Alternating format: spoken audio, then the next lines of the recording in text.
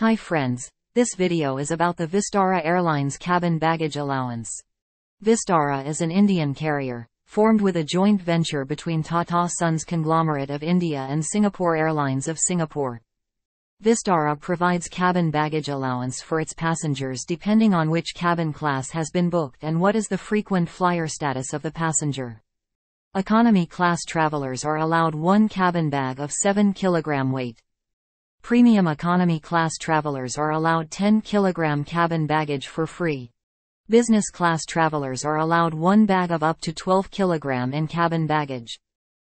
Club Vistara Gold and Platinum members are allowed one bag of 12 kg cabin baggage allowance.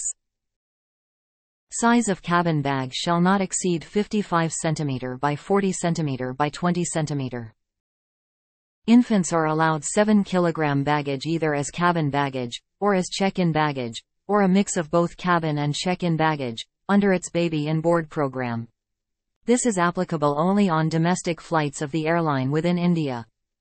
In addition to the cabin baggage allowance, passengers are also allowed to bring certain personal items for free. Their personal items can be ladies' handbag, overcoat or wrap, camera or binoculars, reading material for the flight, infants' feeding aids for consumption during the flight, walking stick, foldable umbrella and medicines required during flight. Thanks for watching this video. If you find this video useful, please like and share the video. You subscribe to our YouTube channel and press the bell icon to keep receiving the notifications.